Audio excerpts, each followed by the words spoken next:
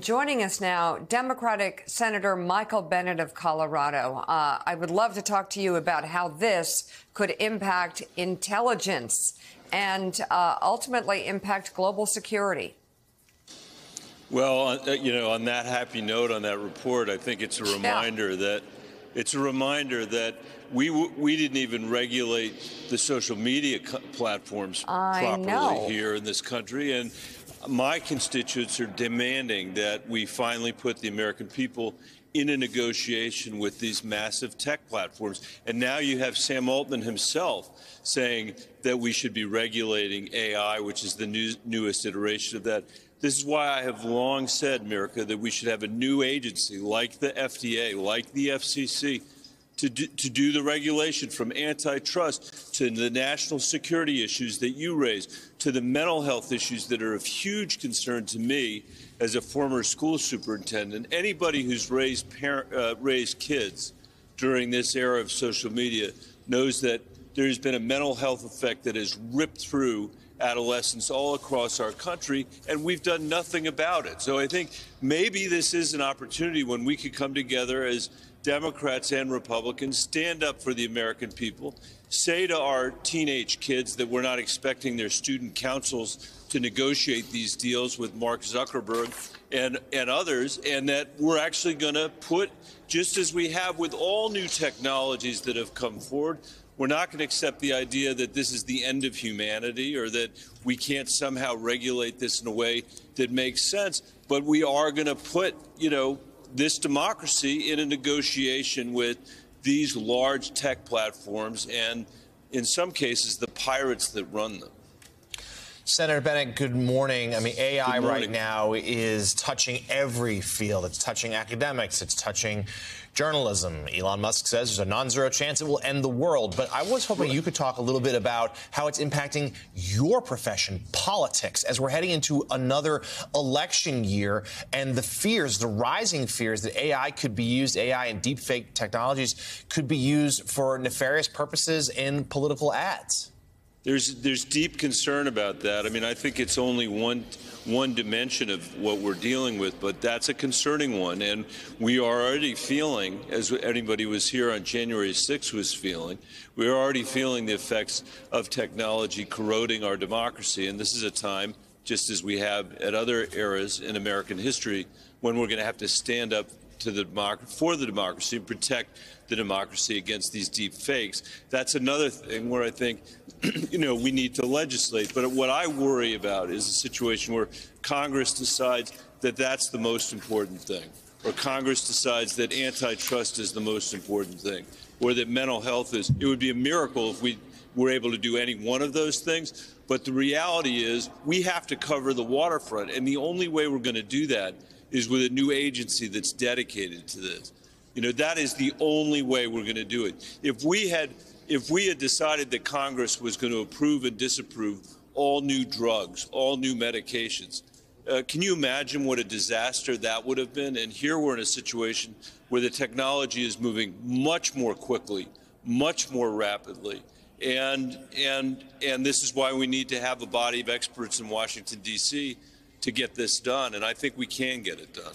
Senator, what do we do about uh, the fact that uh, elements of this technology, elements of artificial intelligence, are already here, and given corporate human nature, it might be that instead of having 150 people working in the front office, that some aspect of artificial intelligence can be used to say, well, maybe we only need 75 people and people lose their jobs almost overnight due to technology.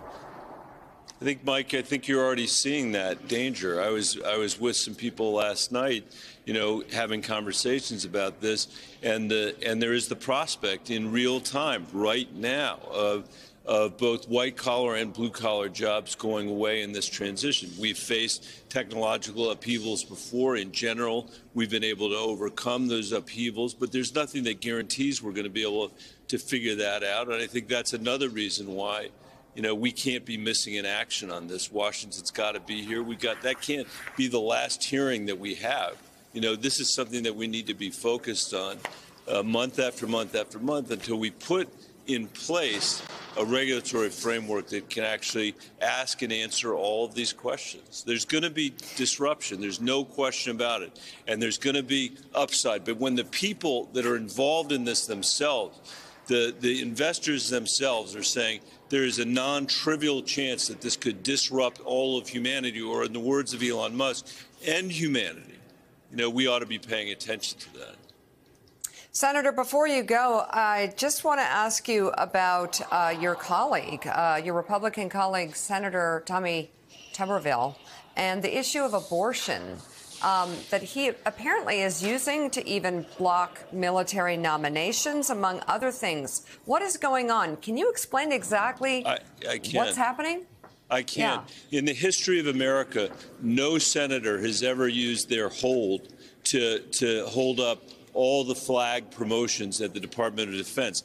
Tommy Tuberville is the first senator to do that. And why is he doing it? He's mad because the Department of Defense has said that if you are in the military and you need an abortion, we will pay for you to travel to another state. We will, we will allow you to have uh, paid leave instead of unpaid leave, and we're going to let you have a little extra time before you have to tell your commanding officer. That's it. It's not paying for abortion. It's not anything else. It's those three things. And he wants to make it harder for people that are confronted with that incredibly difficult choice. So this is the aftermath of a 50 year campaign to overturn mm-hmm. Roe versus Wade, to strip the American people of their first freedom, our first fundamental right since Reconstruction in this country. And they've won that battle for the moment. There are 18 states that have banned abortion since Roe was overturned, nine with no exceptions for rape or incest. The state Tommy Tuberville comes from, Alabama, is a state that has no exceptions for rape or incest. And if you're a doctor, you're going to jail for 99 years. You can't. You're subject to 99 years if you perform an abortion. And what he's saying is that service men and women, service women in particular, who don't choose where they're going to serve, that if you are serving in a place like Alabama, we can't even pay for you to go from one state to another as we can for other medical procedures like, you know, getting your foot operated on or right. or, or or having it, your your appendix out. So, you know, we were battling this out on the floor last night for an hour. I, I feel like my colleague is in this horrible cul-de-sac because he's taken a position that's so unpopular with the American people that I, it's almost hard to understand. And he's using a remedy, holding up every single promotion of the U.S. flag officers that is that is staggering in, in its implications. Seven former secretaries of defense, Republicans and Democrats, have said that this is affecting our military readiness. And by the way, Mika, I would say the Supreme Court's decision overturning Roe versus Wade, among many other things it's done to this country, is sacrificed our military readiness as well. So we, are going to have to overcome this, and, and this is going to be a long, long fight that we have to win. Democratic Senator Michael Bennet, thank you very much uh, for being on the show this morning.